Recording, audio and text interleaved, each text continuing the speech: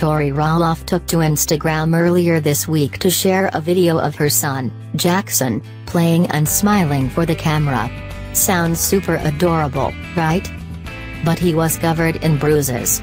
The tiny tot who turned one in May, is still cute as can be, according to his mama, but we can't help but be a little concerned for our fave little people, big world star. Of course, we're sure Jay is just navigating his way through life and occasionally bumps into things.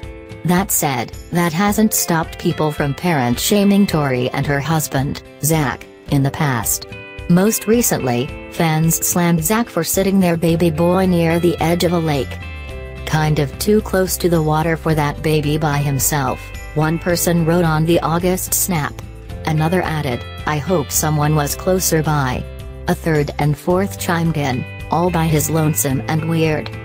Luckily, several others came to the TLC personality's defense. Scary Lil, someone said. But I know you are watching very closely keeping Jackson safe from big fishies. A second was disgusted by people's absurd commentary. Oh, come on. They wrote. I'm sure they woke up and thought, oh, let's go and set Jackson up by the water, sit back, and see what happens today. He is fine. They could be on him before he turns a knee to the ground. Tori is so proud of her toddler that she gushes about him on the reg. In other words, we're confident these two are the best parents to Jay, to Jay.